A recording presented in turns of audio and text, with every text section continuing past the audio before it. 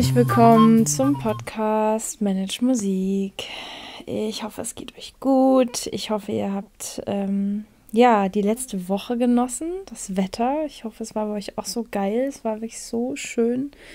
Nochmal so 20 Grad, nicht zu warm, nicht zu kühl, sonnig. Ich habe es sehr genossen. Ich hatte die Woche eine Hündin bei mir. Ähm, die, auf die ich aufgepasst habe für eine Woche und war demnach sehr viel draußen und habe es sehr, sehr, sehr genossen. Und ja, ich hoffe, wie gesagt, euch geht's gut.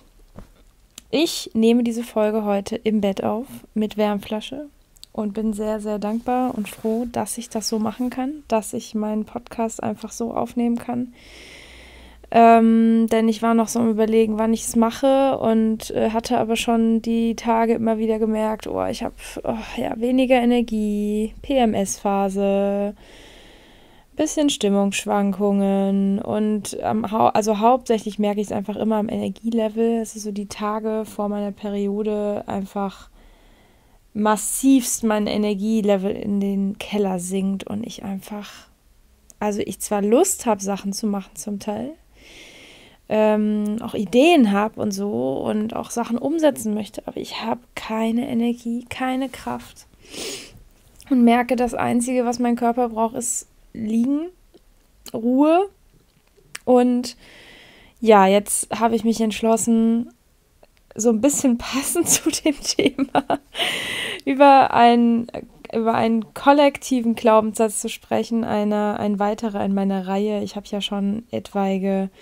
kollektive Glaubenssätze hier durchdekliniert, sowas wie das hat uns auch nicht geschadet oder ja, mir fallen jetzt gerade gar nicht mehr die ganzen anderen Sachen ein. Ihr wisst Bescheid, wenn ihr schon länger zuhört, ähm, dann äh, macht das doch einfach mal. Ist auch so ein Satz, ja. macht das doch einfach mal, ist doch nicht so schwer.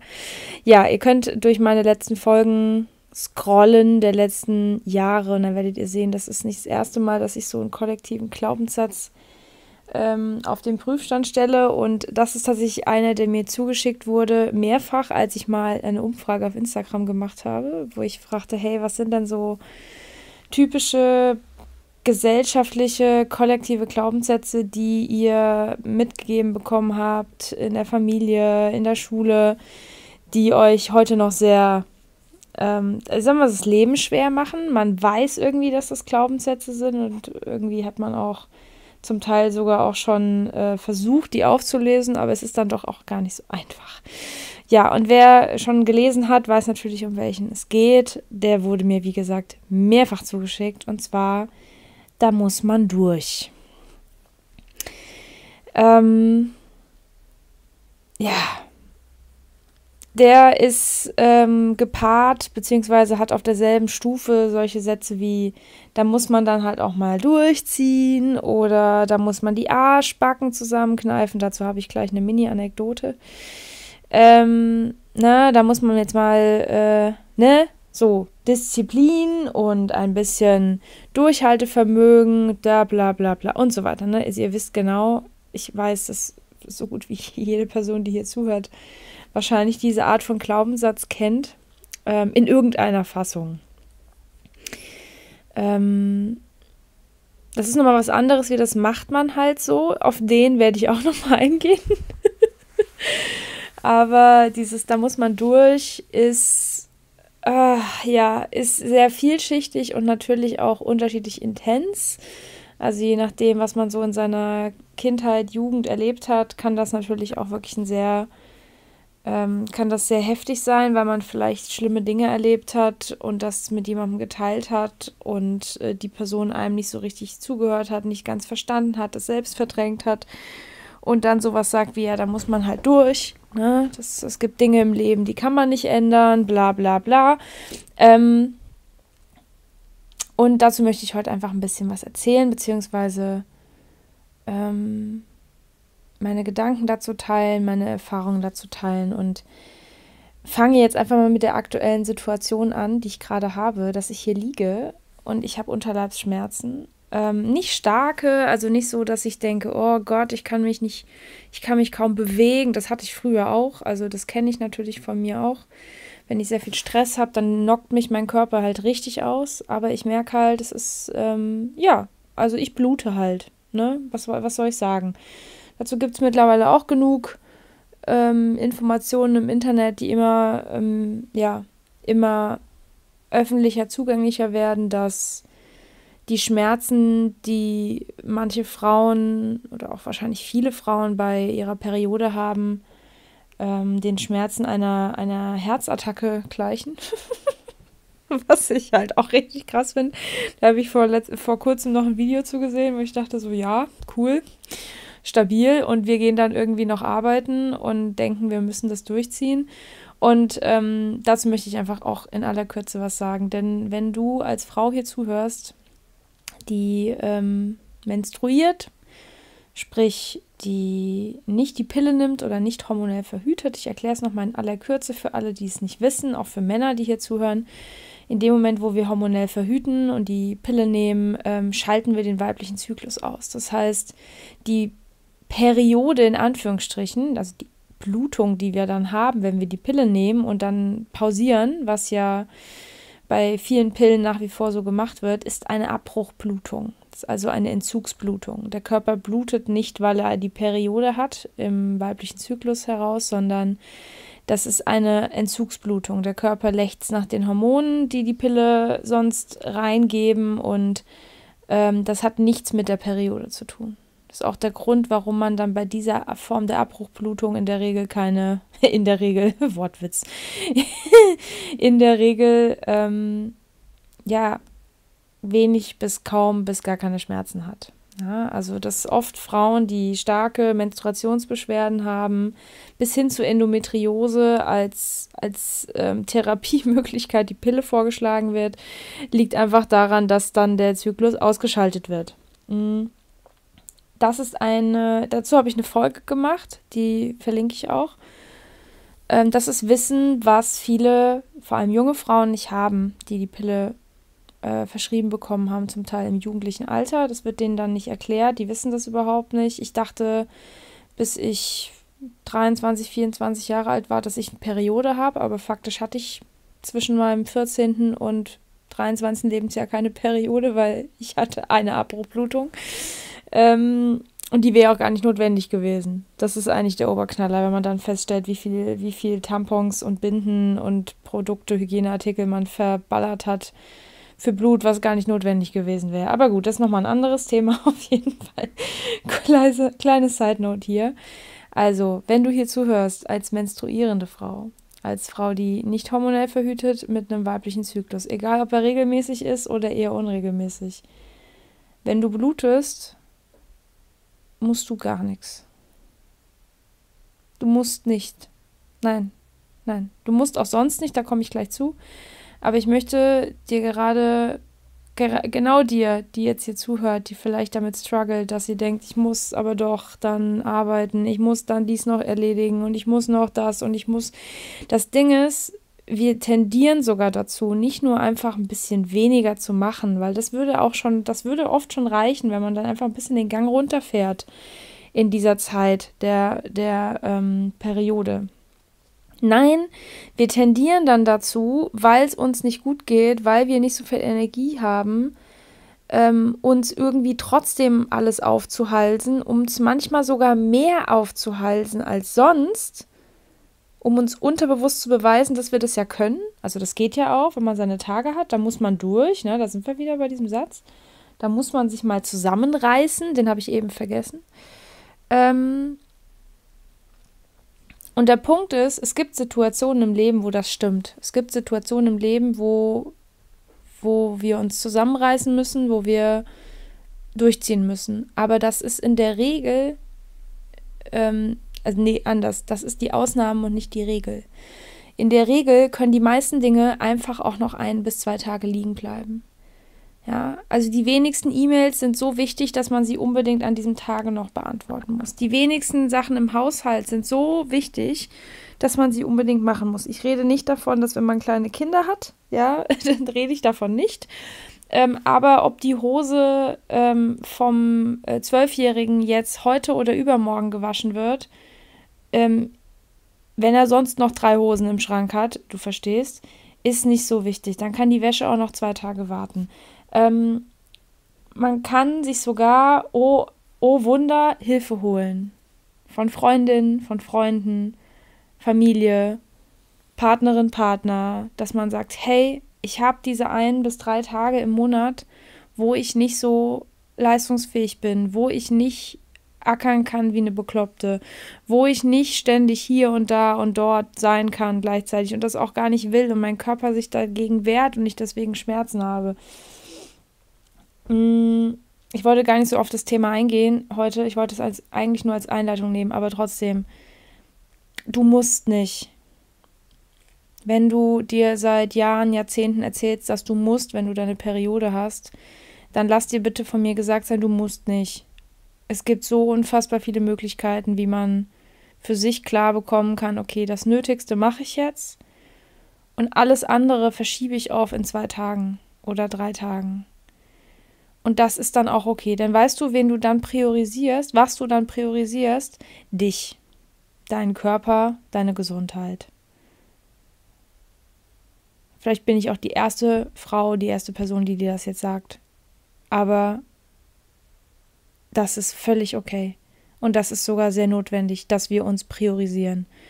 Und dass, wenn wir so extrem starke Periodenbeschwerden haben, dass eigentlich ganz oft nur ein Schrei unseres Körpers ist von, hör mir bitte zu, mach mal langsam, ruh dich bitte aus und gib, gib dir Zeit, oder in dem Fall der Körper gibt mir Zeit, um hier zu bluten. Das ist ein energetisch sehr, sehr anstrengender Vorgang, der da passiert. Dieses Ablösen der Gebärmutterschleimhaut. Und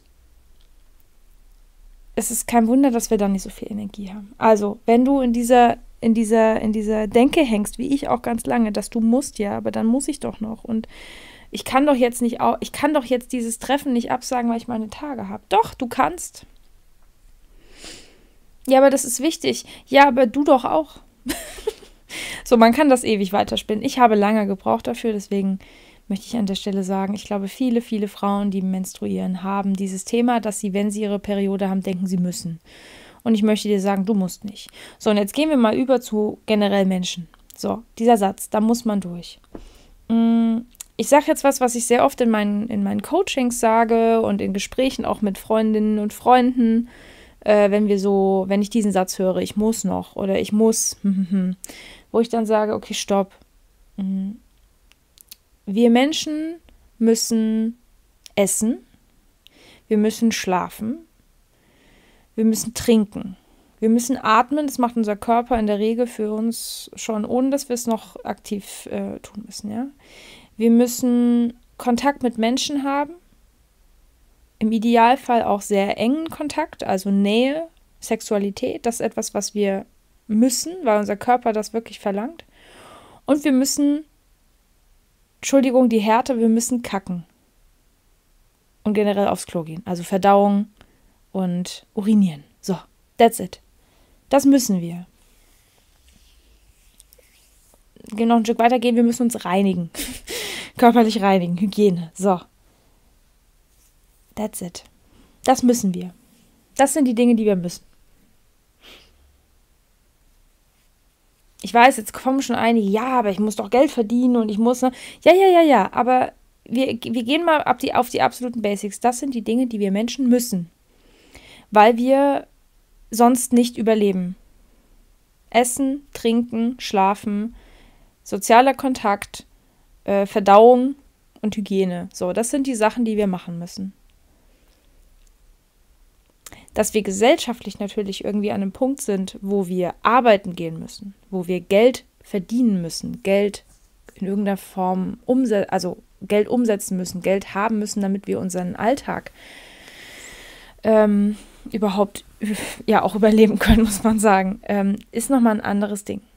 Das stimmt, natürlich, natürlich. Aber da gibt es unfassbar viele Möglichkeiten. Und da steckt nämlich dann äh, ganz oft dann irgendwelche, ja, aber ich muss doch jetzt, ich muss doch in diesem Scheißjob bleiben, ich muss doch jetzt irgendwie diese, diesen Unterricht machen für für äh, absolute Dumpingpreise, also Unterricht geben, weil ähm, mir laufen doch sonst die Leute weg oder was auch immer wir uns dann erzählen. Ja, was wir alles machen müssen. Das würde ich mal hinterfragen. Ich würde dir gerne den Impuls geben, schau mal, wie oft du im Alltag den Satz beginnst, ich muss noch. ich habe dazu auch schon mal eine Folge gemacht. So, jetzt habe ich aber ja ganz bewusst als Satz dieses Mal, da muss man durch. Der wird ganz oft eingesetzt in Situationen, wo auch die Wahrnehmung abgesprochen wird von einem selbst. Wo einem die Wahrnehmung abgesprochen wird. Ne? Also wo man sagt, das und das beschäftigt mich, das und das ist meine Bedürfnisse werden hier nicht gehört. Das, ist, das sagen ja die meisten schon gar nicht so viel. So, so tiefgehend ist es ja schon gar nicht. Aber sie, sie berichten quasi von einer Situation, die sie belastet. Und wenn das Gegenüber keine, ich sag mal, auch unterbewusst keine Energie reingeben möchte für eine Lösung, eine Lösung zu suchen. Ähm, oder mh, mm, vielleicht auch einfach keine Lösung weiß, was ja auch völlig fein wäre, ja, ploppt aus uns Menschen ganz oft dieser Glaubenssatz, dieser kollektive gesellschaftliche Glaubenssatz, ja Gott, manchmal muss man auch einfach da durch. So, und das können die unterschiedlichsten Situationen sein. Das können Sachen aus der Schule sein. Ich weiß auch, dass mir hier Schülerinnen und Schüler zuhören. Ähm, Situationen, Konflikte, Sachen an der Hochschule, Uni, ähm, auf der Arbeit, im Privatleben, ähm, mit der Familie, mit Freunden, was auch immer. Man, man geht zu jemandem hin und erzählt, was einen beschäftigt und belastet. Und eigentlich ist man auf der Suche nach einer, nach einer Lösung dafür oder nach verschiedenen Lösungsansätzen. Gut, manche Menschen wollen auch keine Lösungen haben, die wollen nur jammern, aber das ist ein anderes Thema. ähm, das sind auch oft die Leute, die dann sagen, man muss man durch. Ähm, und dann kommt der Satz, anstatt hinzugehen und ähm, ich bin gerade sehr tief im Thema drin, deswegen ne, komme ich gleich nochmal zu. Anstatt hinzugehen, zu sagen, ey, ich höre dich, ich fühle dich, ich verstehe, vielleicht nicht, aber ich kann das, ich, ich kann das ähm, nachfühlen, wie es dir geht. Und vielleicht finden wir gemeinsam eine Lösung für deine Problematik, für deine Situation. Aber ich höre dir jetzt einfach erstmal zu und, und höre dich und sehe dich mit den ganzen Dingen, die dich beschäftigen anstatt das abzuwatschen und abzubügeln, zu sagen, ja, manchmal muss man da halt auch einfach durch. Da muss man dann mal sich zusammenreißen und die Arschbacken zusammenkneifen. Und da möchte ich dir jetzt an der Stelle wegen den Arschbacken mal eine kleine Anekdote erzählen. Ich arbeite jetzt wirklich schon sehr, sehr, sehr lange für mich mit meinen inneren Themen. Innere Heilungsarbeit, innere Kindarbeit, Therapie, Selbsterfahrungsgruppen ähm, verschiedenste Atemtechniken, mit denen ich mich in Zustände atme, wo ich irgendeine Scheiße, alte Scheiße, alte Seelenleben loslasse. Also ich mache das wirklich schon ziemlich, ziemlich viel. Ich mache viel Körperarbeit. Ich bin Yogalehrerin. Ich habe ein sehr, sehr, sehr enges äh, Verhältnis zu meinem Körper und bin sehr eng im Austausch und schaue immer wieder und spüre immer rein, wo irgendwo was steckt. So. Mir ist vor kurzem erst, obwohl ich das schon so lange mache, ist mir aufgefallen, dass wenn ich zum Beispiel an der Spüle stehe und spüle oder beim Kochen oder in Situationen, wo ich auch im Haushalt so bin, Wäsche aufhängen und ich da stehe, ich unfassbar angestrengt meine Arschbacken zusammenkneife.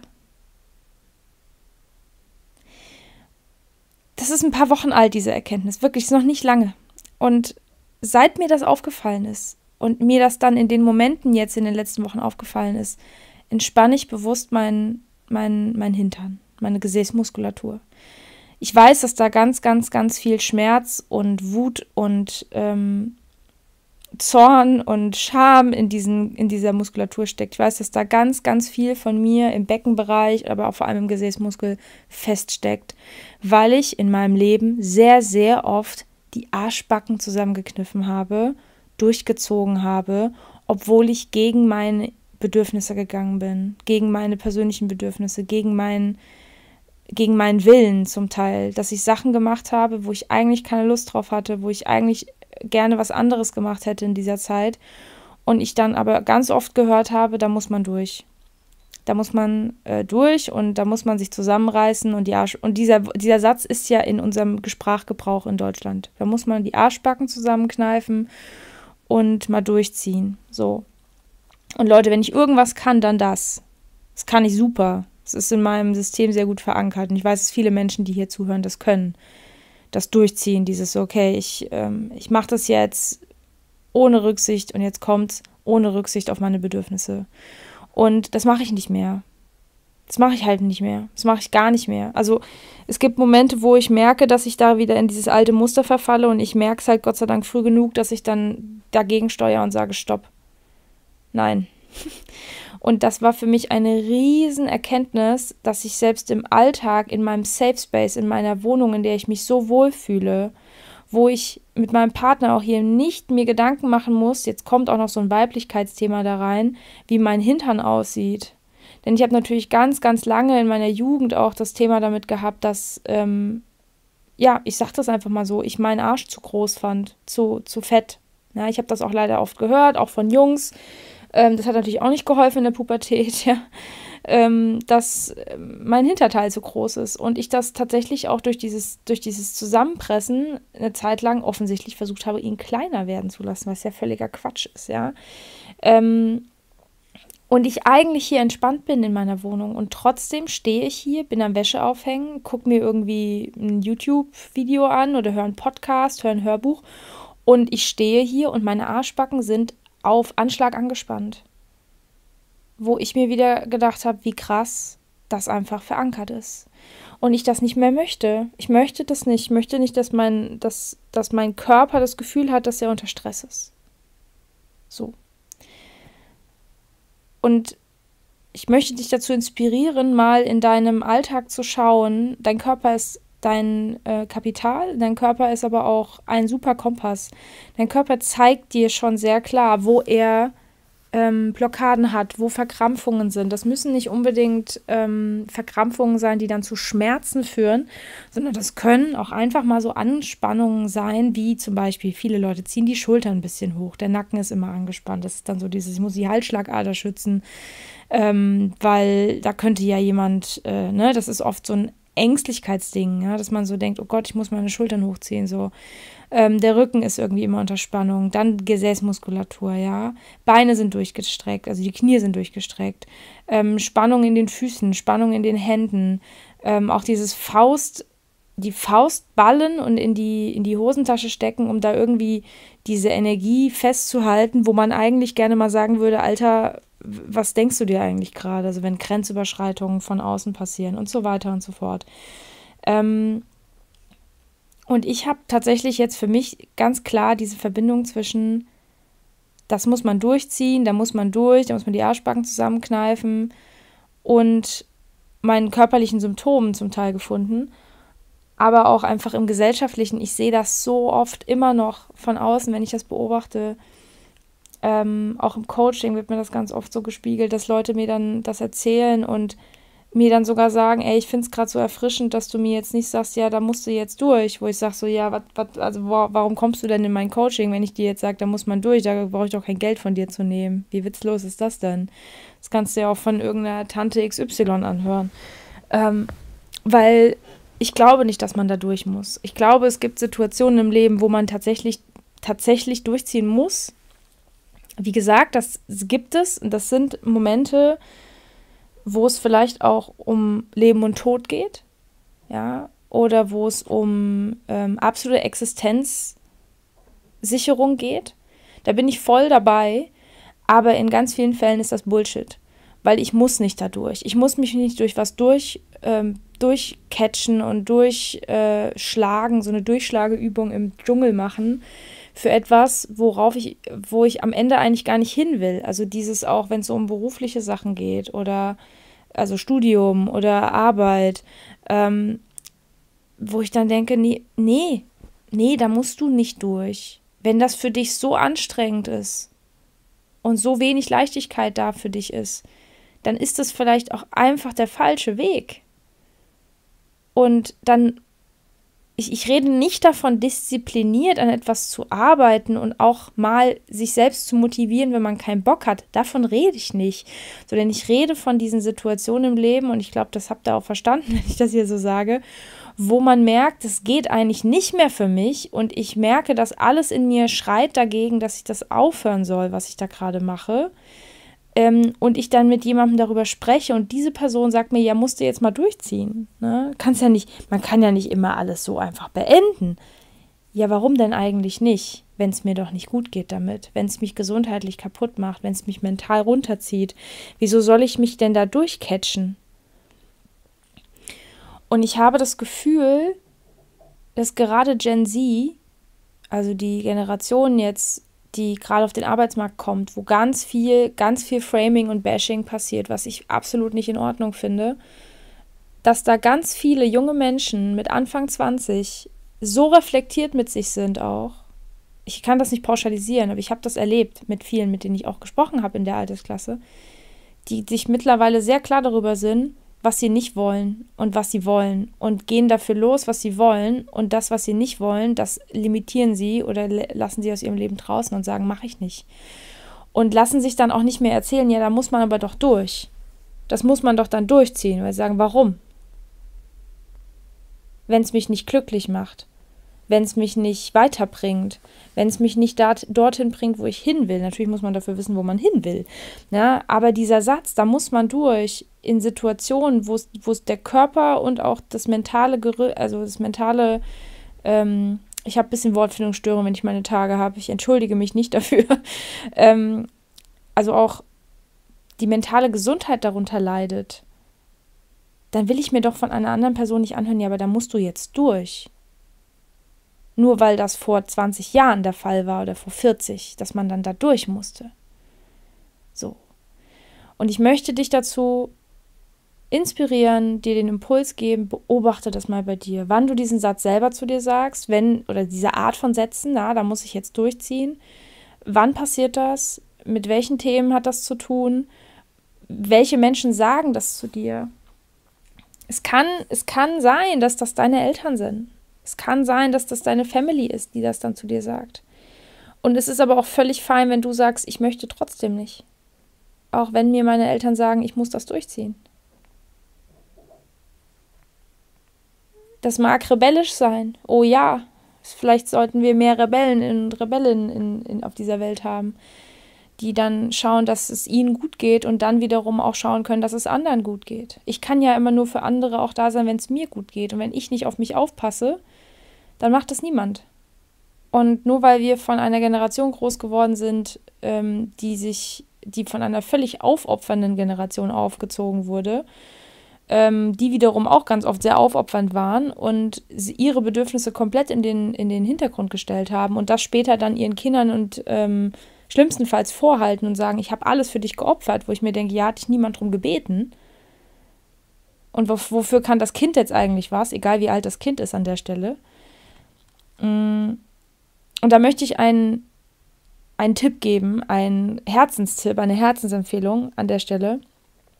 Und zwar, ich habe es, glaube ich, schon mal hier erwähnt, es gibt auf Instagram die Kathi Weber, GFK mit Kati. Ähm, sie ist ausgebildete Trainerin für gewaltfreie Kommunikation. Sie hat einen Podcast. Sie hat zumindest ein Buch von ihr, habe ich schon gelesen. Das hat sie mit einer Kollegin zusammengeschrieben. Ähm, ich höre ihren Podcast, ich suchte den gerade durch. Ihr Instagram-Kanal ist sehr inspirierend. Sie hat sehr, sehr viele auch kostenlose Möglichkeiten bei sich auf ihrem, in ihrer Community, äh, sich zum Thema gewaltfreie Kommunikation, bedürfnisorientierte Erziehung zu kümmern. Und der Knaller ist, ich habe ja noch keine Kinder. Beschäftige mich gerade damit, um mein eigenes Kind noch zu heilen, äh, eigenen Kinder, seien wir ehrlich, ich habe mehrere innere Kinder, ähm, um meine inneren Kinder zu heilen und auch aus pädagogischen Gründen. Ich werde dazu nochmal eine extra Folge machen, ähm, weil ich finde bedürfnisorientiertes Unterrichten hochspannend. Ist eine völlig andere Kiste, wie es seit vielen Jahren und Jahrzehnten gemacht wird. Übrigens, egal wie alt die Schülerin oder der Schüler ist, nicht nur weil es Kinder sind. Denn ich habe immer mit Erwachsenen, wenn ich zu tun habe, auch mit deren inneren Kindern zu tun. Das ist so. Mm. Und ich mache das natürlich auch, weil ich irgendwann Kinder möchte. Und sie hat eine unfassbar tolle Art, das so, un, so, so, so gut und einfach zu erklären. Und man sitzt dann manchmal da und denkt sich so viel krass. Wie krass das einfach ist, was wir uns da selber erzählen, was wir da zum Teil Kindern und Jugendlichen erzählen. Auch als Lehrkräfte, ja, aber natürlich auch als Eltern dann machen, wenn sie nicht auf ihre Bedürfnisse achten und das irgendwann auf ihre Kinder projizieren und denen vorwerfen und, und, und, und, und. Ne? Also ich meine, da könnte ich jetzt hier, ich bin kein Psychologie-Podcast, aber ich beschäftige mich halt sehr viel mit diesen Themen. Ich möchte sie an der Stelle einfach empfehlen. Kathi Weber. Ich ähm, feiere ihren, ihre ganzen Inhalte und kann es nur empfehlen, ganz egal, ob du jetzt, wenn du hier zuhörst, Eltern, also wenn, ob du Kinder hast oder nicht ähm, ob du mit Kindern und Jugendlichen arbeitest oder nicht. Ich finde, jeder Mensch sollte sich mit dieser Thematik auseinandersetzen, denn bedürfnisorientiert zu leben bedeutet eben, seine eigenen Bedürfnisse auch wahrzunehmen und auch zu befolgen und zu schauen, was brauche ich denn gerade. Und das geht für mich zum Beispiel eben nicht mehr, wenn ich dann sage, ich achte auf meine Bedürfnisse, ich nehme die wahr und ich teile das mit jemandem und die Person sagt mir, ja, aber da musst du jetzt durch. Weil am Ende ist das ja nichts anderes. Ich spreche darüber, dass mich etwas stört, dass etwas gegen meine Bedürfnisse geht. Und ich möchte aus der Situation irgendwie raus oder irgendwie schauen, wie ich das anders für mich lösen kann. Und dann bekomme ich gesagt, naja, muss man, muss man durch. Heißt so viel wie, deine Bedürfnisse sind scheißegal, stell das zurück und jetzt zieh durch. Und das ist, finde ich, keine Option mehr. Denn wenn wir uns unser Krankheitssystem angucken, ich sage bewusst nicht Gesundheitssystem, weil mit Gesundheitssystem hat das hier nichts mehr zu tun.